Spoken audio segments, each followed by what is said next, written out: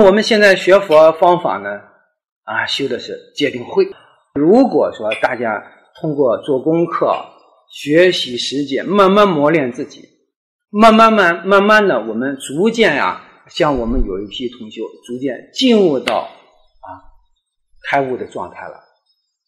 这个时候啊，就达到了一定的定，达到了一定的慧啊。你没有定，他不能开悟开悟啊，不能感受东西。到了定，自然啊就能够有智慧。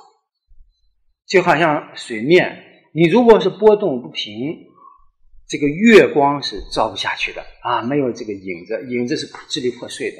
如果这个呃你水面平了。这个月亮呢，在水面自然呀就有个影子，啊，自然就现出来了。所以我们大家现现在这么努力的修行，干什么呢？就是要把我们身心变动的这些东西啊，慢慢慢慢消除，最终让它安定了，不动了，啊，得定了，智慧啊，立即就来啊！你说怎么来的呢？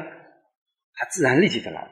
因为啊，你这个心一定就能照出啊世界的一切，慢慢再深入啊，就能照出这个宇宙啊内在的原理，一切的真理啊在这里啊。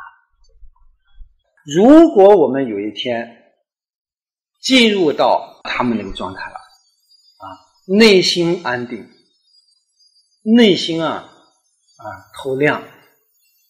啊，慢慢看佛经一点观念，忽然能够心中有所体悟，忽然明白佛经说的是什么样的以后，这个开始啊，就啊走入这个比较深层次的东西了，开始啊走到入到这个定和慧的这个阶段里边了，啊，当然还早啊，因为到心经还要在般若波罗蜜多，在智慧里边啊，要走的。非常的远，非常的深的时候，才能明白这个道理。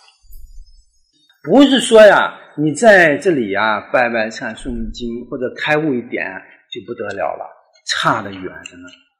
因为我们什么也没做啊，你界定会得到的力量，你还不会用，不能够啊改变别人，不能够改变周围，不能够改变世界。你不懂得里边的奥妙，不懂得怎么运用，还早。